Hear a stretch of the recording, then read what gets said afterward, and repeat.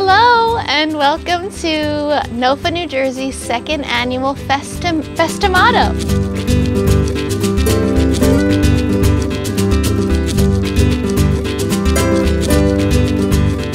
We wish that you could be here with us tasting and looking at these beautiful tomatoes from all across the state, but we're doing our best to bring you the full New Jersey experience and I'm gonna give you a little guide, a little way to see and taste without being here. We're at North Slope Farm in Lambertville, West Amwell, New Jersey.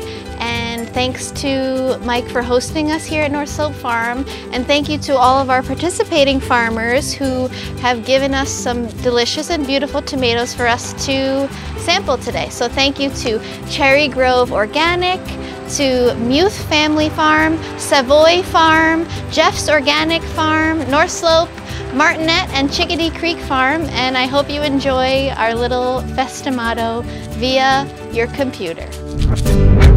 Hello, I'm Gabby. I am a farm to table tomato lover and friend of NOFA, New Jersey, and I'm going to start our little virtual tomato tour today with all of our little friends, our cherries, our grapes, our salad snackers, and let you know what I think. So I'm gonna start with this beautiful tie-dye-like tomato. This is called a sunrise bumblebee.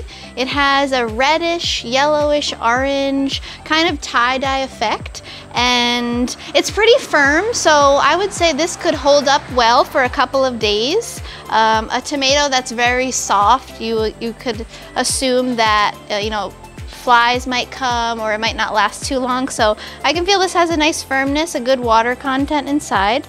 I'm gonna slice it open. You can take a look inside. Really nice and juicy, beautiful. This is not an over-the-top super sweet tomato, but it has a great classic tomato flavor. I'm gonna go to another tomato of a similar um, color coloration. It's called a blush tomato. Also nice firm texture.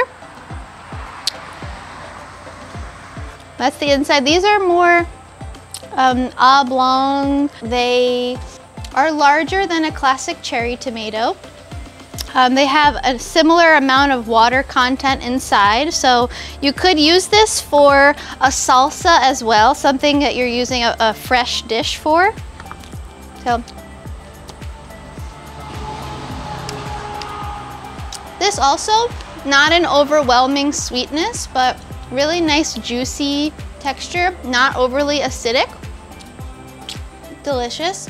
Next what I have here is a, a pink boar tomato. This has a beautiful greenish coloration with a dark red.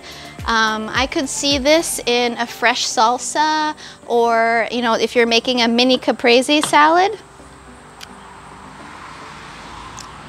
So this has a, a pretty thin wall. It's not as thick as the sunrise or the blush.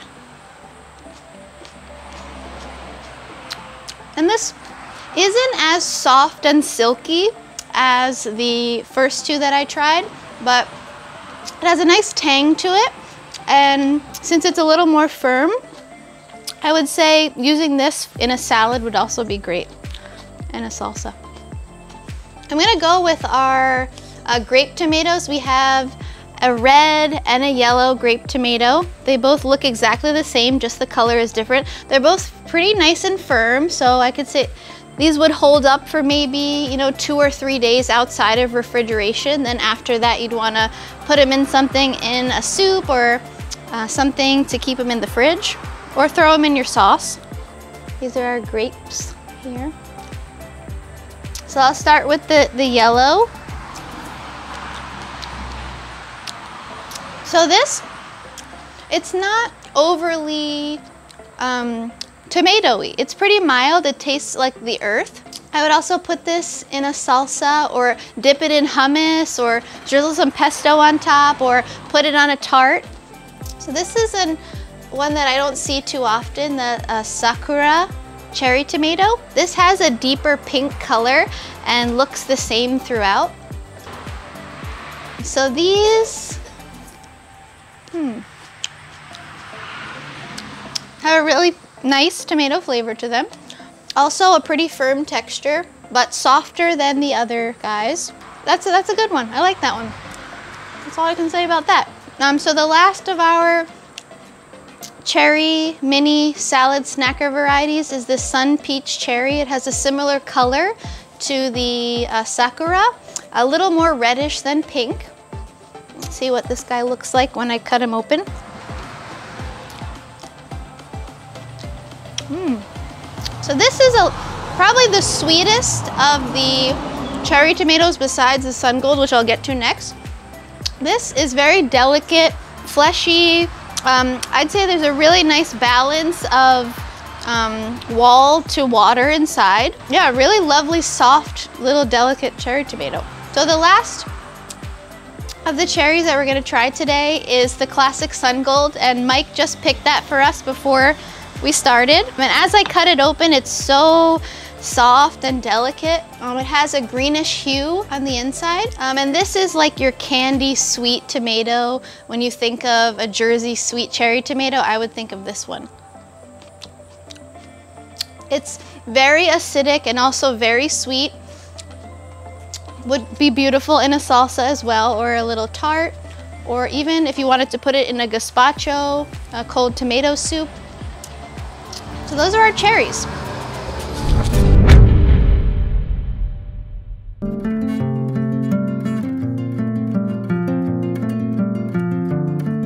Hey, I'm Mike from North Slope Farm here at the West Windsor Community Farmers Market. Thanks for coming out to buy your tomatoes. We've got heirloom Corsalos, sun gold cherry tomatoes, renowned for their delicious flavor, and lots of other yummy veggies. Flowers too.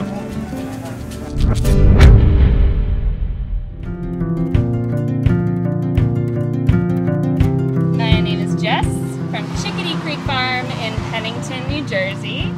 And I've got a couple of our favorite tomatoes here today. There's Dixie Lee Golden Giant. Um, so this one I love because it's like a mango color inside and it's almost like a the fleshiness of a mango, but with a really awesome sweet tomato taste. I'd say probably my next favorite one is German Johnson. So this I love because it's like a heartier brandy wine. Brandy wine, everybody's all about the brandy wine. German Johnson is more likely to perform as a tomato plant and give, just give you loads of like awesome, sweet, full-bodied flavored, um, like that really nice balance between acid and sugar. A great slicing tomato. And then everybody's all about the Sun Gold cherry tomatoes. I actually think the Sun Peach cherry tomato is the way to go. It's a little bit less obnoxiously sweet. Um, so I know everybody, you know, they're really good if they're sweet like candy. That's the Sun Gold. But then if you're into something slightly more mellow, a little bit more versatile, I'd say the Sun Peach is the way to go. So those are the three that I'd say are um, the stellar tomato varieties that I would talk about. So we go to six weekly farmers markets, one of which is here, the Pennington Farmers Market, but we're also in Princeton at Cook's Market in New Brunswick. We're at the Summit Farmers Market, the Denville Farmers Market, the Metuchen Farmers Market. One of the interesting things we're doing these days is allowing all customers to pre-order ahead of time free of charge in order to keep the crowds down and to do our part for the whole pandemic management thing. So that's the other thing. Got an online store. Check it out from our website.